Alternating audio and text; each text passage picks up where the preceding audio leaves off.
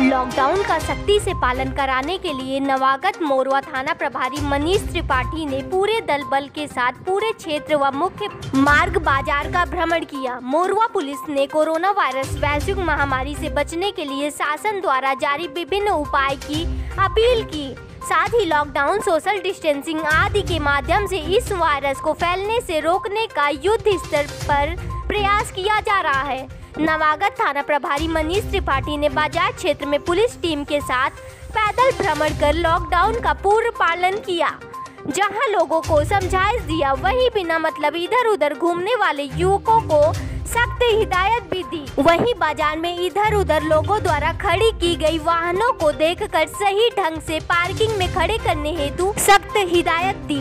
नवागत थाना प्रभारी द्वारा बाज़ार का औचक भ्रमण एवं कानून के परिपालन में सख्त, तेवर चर्चाओं का विषय बना हुआ है। प्रयाग न्यूज़ के लिए सिंगरौली से उपेंद्र दुबे की खास रिपोर्ट।